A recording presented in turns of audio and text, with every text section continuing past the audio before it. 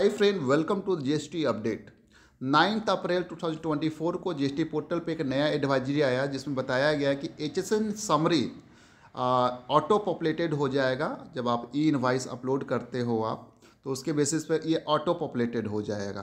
तो ये एक बहुत कन्वीनियंस है, उस केसेस में जहाँ पर ई इनवाइसिंग मैंडेटरी रिक्वायरमेंट है और बिज़नेस टू बिज़नेस बिलिंग है, उस केस में तो टोटली ये एच एस एन जो आपका समरी है, बन के आ जाएगा यहाँ पे। तो आपका जो मैनुअल वर्क है वो रिड्यूस हो जाएगा यहाँ पे। तो जीएसटी पोर्टल ने इन्फॉर्म किया कि जो न्यू फीचर है auto populate populate H S N wise summary from e invoice तो G S T R one का टेबल नंबर ट्वेल्व में है ये जो ऑटोमेटिकली अब अवेलेबल होगा जी एस टी पोर्टल पे।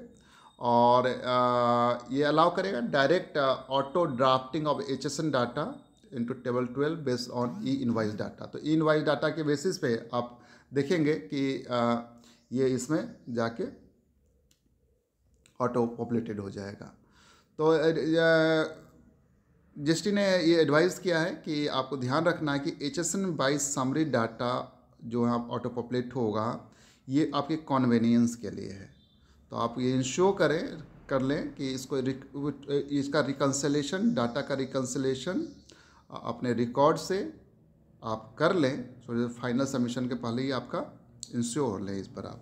ठीक है? तो इसका रिकन्सलेशन की रिस्पॉन्सिबिलिटी आपकी है। ऐसा नहीं कि इस पर ब्लाइंडली आपको आ, आ, ये डाटा को आपको आ, कर देना डाटा को आप वैलिडेट करना है रिकनसाइल कर लेना है आपको पूरा। उसके बाद इसको फाइनल सबमिशन के पहले देख लेना है सबको। उसके बाद फाइनल सबमिशन करना है। और कोई भी डिस्क्रिप्शंसी और एरर्स है अगर इसमें ऑटो पॉपुलेशन में तो उस, वो आप फाइनल सबमिशन के पहले इसको आप करेक्ट कर लेंगे मैनुअली कलेक्ट करेक्ट करेक्ट कर लेंगे। तो ये एक नया अपडेट है और धीरे धीरे कॉन्वीनियंस हो रहा है तो नई फैसिलिटी है और इससे आपका काफ़ी मैनुअल वर्क बच जाएगा। Thank you so much for watching this update